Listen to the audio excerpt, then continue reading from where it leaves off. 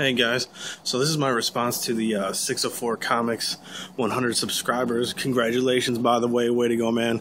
Um, this is my uh, video response to his questions. So, first, um, who's your Valentine in the comic book world? Uh, my first one would probably be uh, Roxy from Gen 13.